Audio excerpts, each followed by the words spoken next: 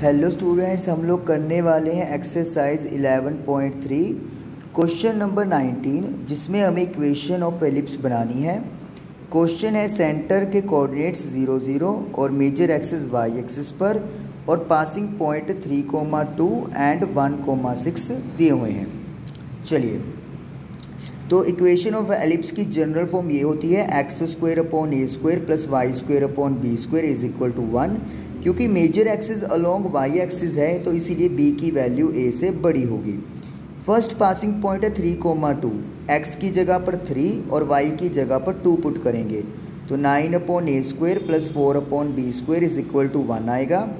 B square वाली term को right side shift कर देंगे एल्सियम लेंगे तो वन अपॉन ए स्क्वेयर की value B square minus four upon nine B square हमारे पास आ जाएगी। ये जो नाइन है, वो डिवाइड में हम लोग ले गए।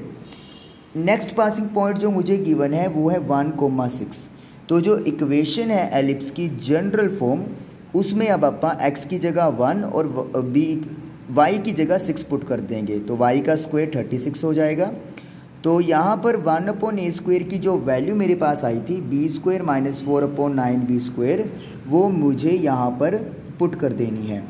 एल्सियम लेंगे क्रॉस मल्टीप्लाई करेंगे और बी स्क्वेयर की वैल्यू मेरे पास 40 या बी की value plus minus root forty आ जाएगी।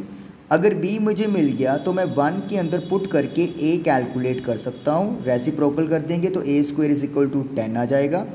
जनरल इक्वेशन थी X square upon A square plus Y square upon B square is equal to one तो ए स्क्वेयर की जगह पर आप टेन रख दोगे बी स्क्वेयर की जगह पर फोर्टी और ये एलिप्स की इक्वेशन हमारे पास जनरेट हो गई। Thank you